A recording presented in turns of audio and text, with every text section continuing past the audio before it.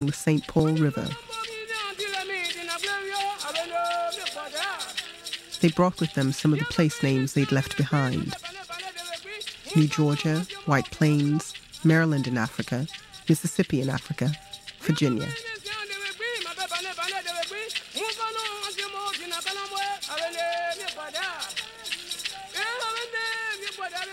They transplanted the architecture of southern plantations where most American blacks still lived as slaves.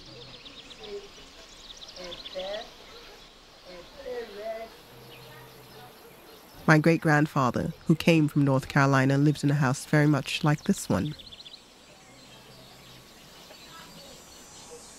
Many of the first black settlers were literate, and quite a few had owned businesses in the United States.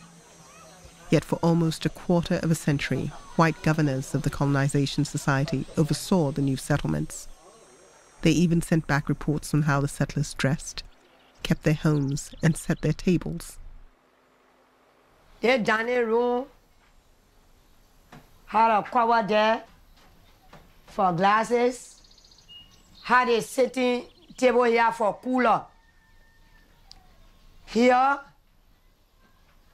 the dishes cover. Here, the L box.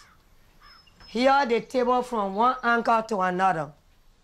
With at least six chairs and six chairs here. So you can see how it was designed up. But all is breaking down.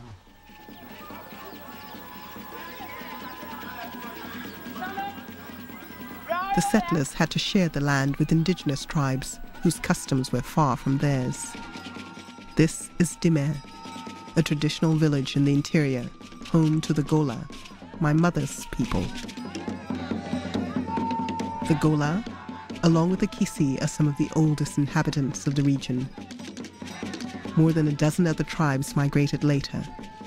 The Kpelle, Vai, Mende, Dei, Kru, Gio, Mano, Krahn, Bele, Loma, Grebo, Bassa, Mandingo, and Bandi.